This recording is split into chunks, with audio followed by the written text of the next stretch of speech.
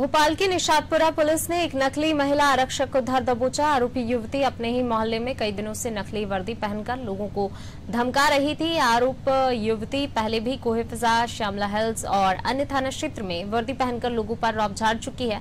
दरअसल पुलिस को सूचना मिली थी, हाउसिंग बोर्ड कॉलोनी में एक सप्ताह से एक नई महिला आरक्षक गश्त पर शाम को आ रही है और वह कोरोना प्रोटोकॉल तो कभी कानून व्यवस्था बनाए रखने का हवाला देकर लोगों पर अपना रौब झाड़ रही है। जिसके बाद सादी वर्दी में पुलिस टीम को बुलाया गया और जैसे ही महिला आई तो उसे पकड़ लिया गया। थाना निषादपुरा में एक 22 साल की युवती मध्य प्रदेश पुलिस की ड्रेस में, यूनिफॉर्म में घूमते हुए पाई गई। पुलिस को सूचना मिलने पर तत्काल कार्रवाई करते हुए और फर्जी पुलिस वाले पाए जाने पर प्रकरण पंजीबद्ध करके विवेचना में लिया गया है और वह यूनिफॉर्म पहन के ऐसा ज्ञात हुआ कोई फिजा निषादपुरा अन्य एरिया में भी घूमी है। उसका क्या मोटिव था? उससे बातचीत की गई तो उसके द्वारा बताया गया कि वो पुलिस में भर्ती होना चाहती है।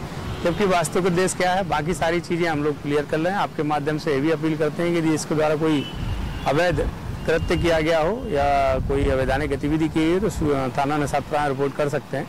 और हम लोग भी अभी प्रकरण कायम करके विवेचना में लिया है। विवेचना में जैसे साक्ष्य आएँगे वैसी कार्रवाई की।